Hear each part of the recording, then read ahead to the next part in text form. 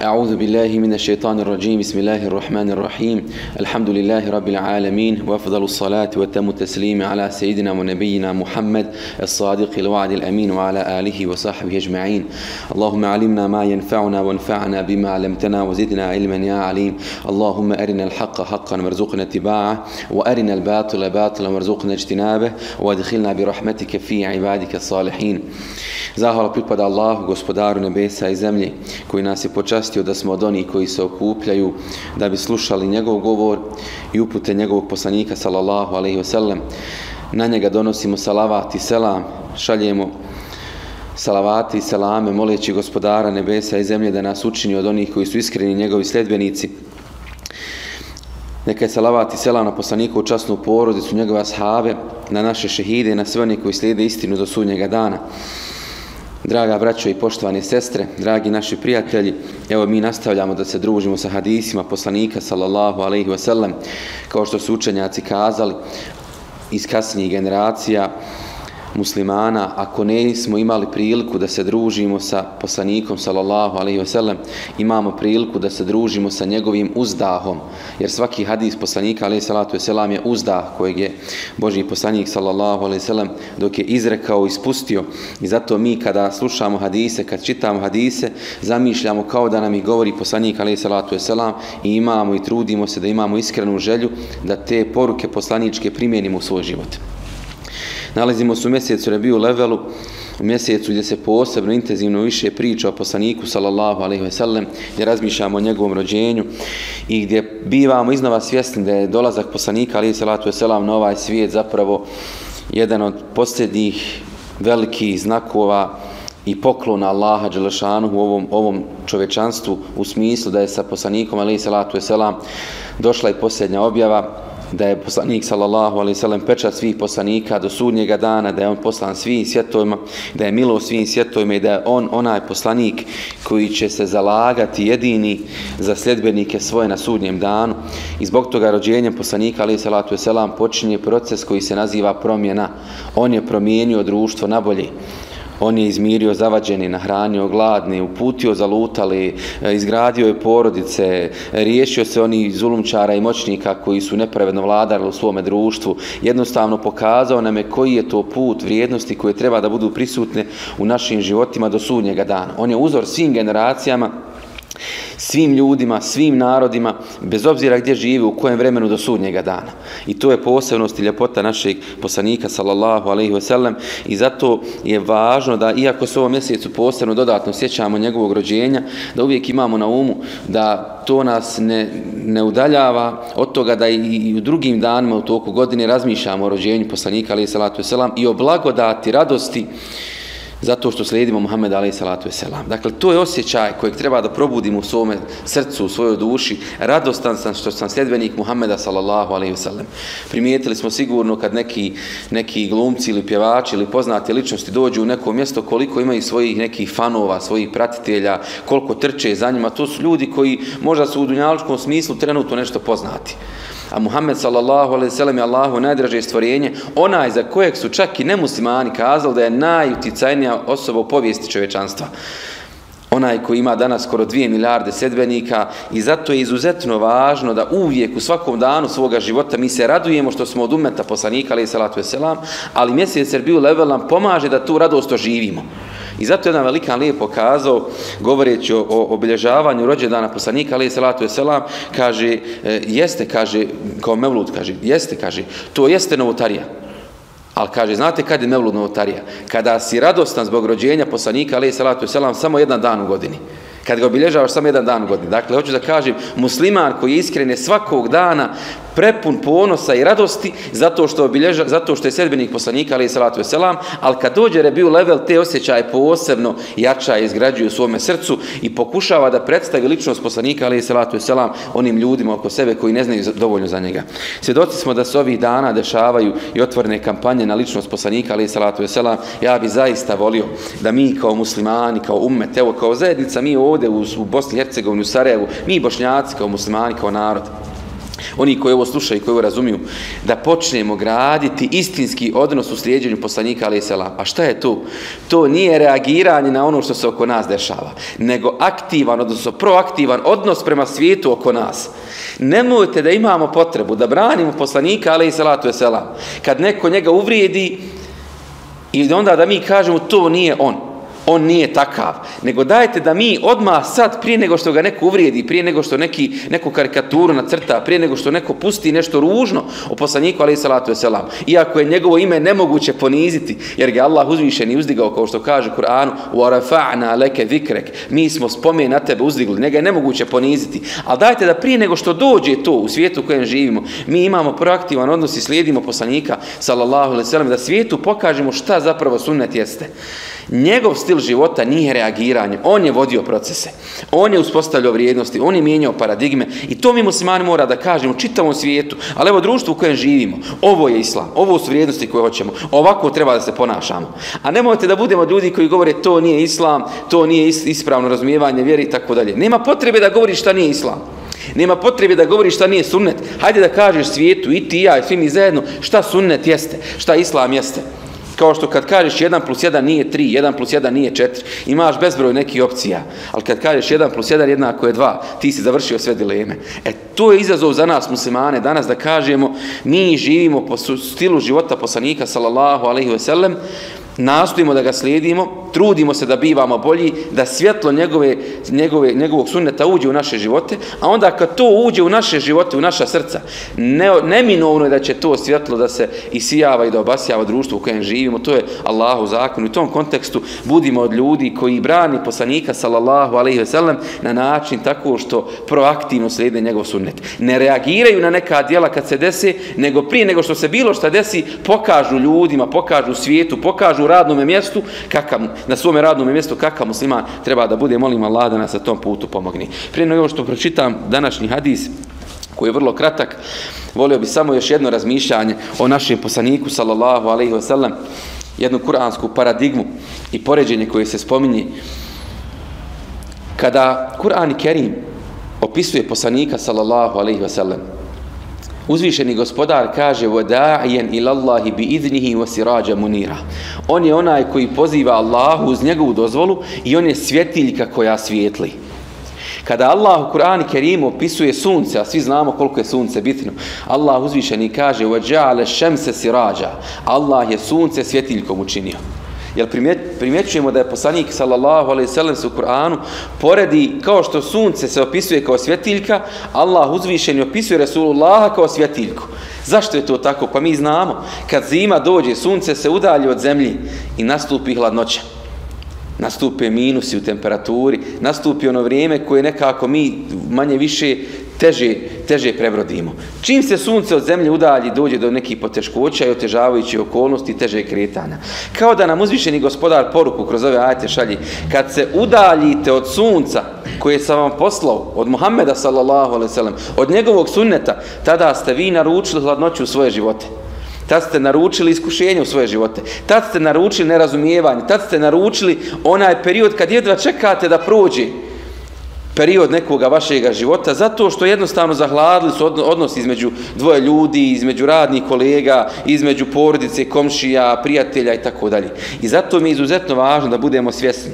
Ko želi toplinu u svoj život, ko želi sunce u svoj život, ko želi radost u svoj život, jer sunce simbolizira rađanje, radost, ljepotu, novi dan, novu nadu, energiju. Znamo šta sunce znači. Neka se takav približi poslaniku sallallahu sallam. Jer je nemoguće njemu se približiti i za njega se vezati a da ostanemo u hlad, da nam da ostane hladnoća u našem srcu, da ostane tuga u našoj duši, da nas ne obasja sunce Božje milosti. Kroz nekoliko primjera da ovo razumijemo. Zamislite studenta koji je shvatio poruku poslanika sallallahu alejhi ve sellem koji je rekao ko krene putem na kojem traži znanje, on je krenuo putem prema džennetu. Ili se sjeti hadisa u kojem poslanik sallallahu alejhi ve sellem kaže kad neko traži nauku i znanje, čak i ptica u vodi, odnosno čak i riba u vodi, traži za njega milost i moli gospodara za tog insana. Zar se ne bi u srcu tog insana probudila ambicija da bude odlučniji, da bude spremniji na putu kojim je već krenuo? Zamislite muža koji se sjeti i kojeg obasja sunce poslanikovi sallallahu alejhi ve sellem savjeta kad kaže najbolji od vas oni koji su najbolji prema porodici. Nije najbolji onaj ko najviše klanja, ko najviše posti, nego mjerilo dobrote Resulullah postavlja kao kakav si prema porodici. I zamislite da ovo jedan muž, muž muškarac ili otac svati i onda on kroz ovo razumijevanje vjere unese sunce i život u svoju porodicu.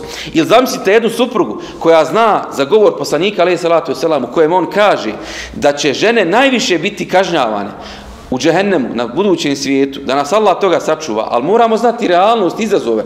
Zbog toga kaže što će biti nezahvalne svojim muževima. A to će se ogledati u rečenci kad kažu nikad mi u životu nisi valjao. Pa sad jedna supruga, jedna majka svati i želi da obasja svoju kuću sa suncem, sa radosti, sa ljepotom. I onda kaže, borit ću se protiv svoje ženske prirode koja me tjera da bude nezahvalna. Da zbog jednog ili dva grijeha ili greške ili pogreške moga muža zaboravim neko dobro koje mi čini čitav život. Tako se sunce unosi u naše kući i naše poruce. Zamislite oca i majku i roditelje koji su svjesni da je poslanik alaih salatu wasalam kazao da čovjeku nakon smrti koristi samo tri stvari. A jedna od te tri stvari je veledun salihun jedu lehu. Čestito dijete koji uči za njega dobu. Pa da on se potrudi da svoje dijete šalje u mekteb, da ga veže za džamiju, da ga veže za Kur'an, da ga veže za vrijednosti vjeri, da bi sutra to dijete se njega sjetilo u dobi, jer će mu ta doba koristiti kad sad u njalko ode. Tako se sunce unosi u naš život. Kada sunnet postane način našeg razumijevanja i odgoja naše djeci. I zamislite dijete koje zna za poslanika sallallahu alaihi sallam savjetu kojem kaže u zadovoljstvu roditelja i zadovoljstvu gospodara, a u sržbi roditelja sržba gospodara. Da li bi onaj dječak, mladić ili djevojka koji su, koji su do sada rasplakivali svoje roditelje zbog nekih možda beznačajnih dunjaličkih stvari, da li bi više postupali na takav način kada bi sunce poslanikovog alaihi salatu selam života ušlo u, njihov, u njihovo srce? Tako se osvijetli jedan odnos između djece i roditelja i tako se popre, tako se tako dođe do topline u odnosu između djece prema roditeljima. Na takav način se sunce unosi u naše porodice. Ili zamislimo na primjer poslodavca koji koji radi sa svojim radnicima i zna za hadis poslanika ali salatu selam u kojem kaže isplatite radnika dok mu se znoj ne osuši. Da li bi bilo bespravljeni, da li bi bilo oni koji koji tuže svoje poslodavce, nadređeni, da li bi bilo oni koji proklinju, koji možda u dovama kao mazlumi Allaha dozivaju učeći dovu protiv ovoga insana. Zašto to nije uradio? Možda ima dunjalka, ali srce njegovo nije obasjalo sunce posle njihovog sunneta. I onda ima ovakav problem. Ili zamislite vladara koji je spreman, odnosno vladara, političara, nekoga ko upravlja procesima, ko zna za hadis poslanika, ali salatu selam, u kojem on kaže, kad se povjere emaneti nesposobnima, onima koji nisu dostojni, očekujte sudnji dan. I ovaj sudnji dan ne znači samo kraj smak svijeta, nego očekujte smak svijeta i sudnji dan za tu firmu za tu instituciju. Kad se povjeri obaveza neka, nekome ko ne zna, nije dostojan toga, očekujte da ta institucija, ta firma, ta radnja, bilo šta, da to propadne. Zamisli insana koji vodi proces i zna za ovaj hadis poslanika ali salatu i selam. Puno ozbiljnije bi davo emanete i prihvato emanete da li da nešto vodi ili da li da nekome nešto dadni. Tako sunce ulazi poslanikovog sunneta u naše društvo ili zamislite insana koji je zdrav, probudi se ujutro i ne zna šta će od sebe. Da se sjeti hadisa poslanika ali salatu i selam u kojem on kaže onaj ko se probudi zdrav, siguran u svojoj kući, ima šta da jede za taj dan, kao da mu je dunjaluk čitav darovan. Zar ne bi sunce ušlo u njegovo srce, on bi zadovoljan bio. Subhan. Ili zamislite insana koji je bolestan i razmišlja o svom iskušenju, o svom stanju i sjeti se u tom trenutku hadisa poslanika ali salatu selam u kojem on kazao zaista vijenika ni trn ne ubode ni trn ga ne ubode, a da zato nema nagradu kod Allaha i da mu to nije čišćenje grijeha. I onda mu i ta bolest postane na neki način olakšanje, radost i sunce uđe u njegov biće, u njegov, njegov život, u njegov dan. I u tom kontekstu ja molim gospodara svi svjetova da nas pomogne da zaista se vežemo za poslanika ali salatu selam na pravi način. Znaćeš da se vežeš za poslanika sallallahu alejhi ve sellem kada čitajući njegove hadise, slušajući predavanja o njemu, učeći o islamu, osjetiš da to postaje snaga u tvome životu. Osjetiš da to postaje sunce tvo, tvoga bića. I kada ti svojim ponašanjem, svojim postupcima budeš bio sunce osvjetljavao put svim drugim ljudima oko sebe, baš kao što je to radio poslanik sallallahu sallam, molim Allah da nas na tom put pomogne. Amin. Evo da pročitamo hadis kratko ovaj za večera za danas koji smo, koji smo pripremili. Hadis glasi pogledaj bab mukthil imami fi musallahu ba'de selam. Zadržavanje imama na mjestu obavljenog namaza poslije selama. Ovdje se nalazi nekoliko hadisa sličnog seneda. Ja ću pročitati samo 849. hadis gdje kaže ovako. Hadesena Ebul Velid, hadesena Ibrahim ibn Sa'd, hadesena Zuhri an Hind bint il Harith an Ummi Salame. Pričao nam je Ebul Velid, njemu Ibrahim ibn Sa'd, ovome Zuhri, prenoseći od Hinde bint Harisa, a ona od Umu Selemi. Enne nebije sallallahu alaihi wasallam, da je poslanik sallallahu alaihi wasallam, kane idha selleme jemkusu fi mekanihi jesiren. Kaže Umu Selema da je Rasulullah sallallahu alaihi wasallam nakon što bi predao selam ostao kratko malo na svome mjestu gdje bi obavio namaz. Dakle ovdje se spominje jesiren, ostao bi malo, kratko jednostavno nekoliko nekoliko trenutaka. Qala ibn shihab fanura wallahu a'lamu likay yanfudha man yansarifu min an-nas a ibn shihab kaže mislim Allah najbolje zna da je on to činio kako bi prisutne žene koje su bile tu na namazu džematu koje su završile namaz mogle da izađu. I ovdje hadis završava. Dakle sunnet poslanika sallallahu alejhi ve sellem jeste da se nakon što imam preda nakon farza preda selam da se zadrži malo na tome svome mjestu, da ostane kratko na tome mjestu. Navodili smo druge predaje, ovdje se učenjaci po mezebima razlikuju zato što ima još drugih predaja koje neke govore da treba ostati duže, neke govore kao što ovdje kaže malo je kratko je ostao. Navijeli smo predaju koja se prenosi Aisha radi Allahu anha da je poslanik sallallahu alaihi sallam ostajao nakon farz namaza onoliko koliko je dovoljno da se kaže Allahumma ente selam wa minke selam tebarak te ja del dželali wal ikram. U suštini ono što mi znamo jeste da ove predaje se prenose od ashaba, kako su vidjeli Božijeg poslanika, ali i salatu selam, da namaz.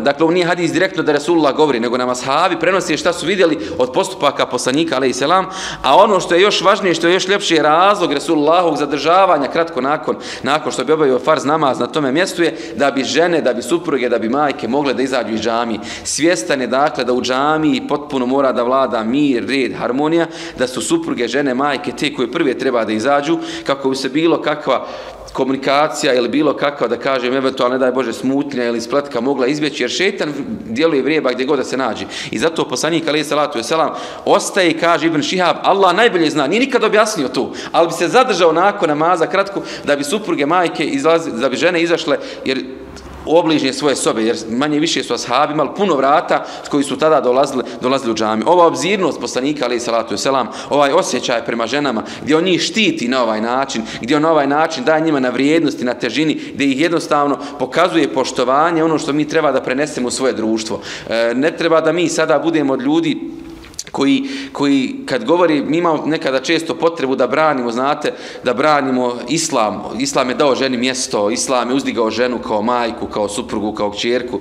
Islam je dao ženi najljepše mjesto i Rasulullah nas tome naučio. Nego dajte da mi našim suprugama, majkama damo najljepše mjesto, da i mi damo poštovanje. Izazov je to veliki u društvu u kojem živimo. Ja molim gospodara svih svjetova da nas počasti, da ove stvari razumijemo. Molim gospodara svih svjetova da nam olakša, da slijedimo poslanika, alaih salatu wasalam, onako kako je on uzvišen i zadovoljan. Molim gospodara nebesa i zemlje da zaista sunce poslanikog, alaih salatu wasalam, sunneta, uđe u naša srca, pojedinačno. Jer to je jedini način da to sunce uđe u naše društvo. Nema promjene od trećih ljudi. Promjena počinje od tebe i od mene. Da mi unesemo vjeru u svoj život, u svoje biće. I onda će to biti jedan pojedinac, dva, tri, deset, petnaest, dvacet, stotinu ljudi. Rijeka dobra treba da se pojavi. Rijeka dobra od ljudi koji će da odnesu onu bujicu lošeg i zla kojeg možda vidimo nekada u svome društvu. U tom kontekstu molim Allah da nas na tom putu pomogne, da budemo od onih koji su korisni članovi društva i da sunce poslanikog sallallahu alaihi sallam sunneta uđe u naša srca. Gospodar počasti nas, nemoj nas poniziti, oprosti na grijehe, nemoj nas kazniti.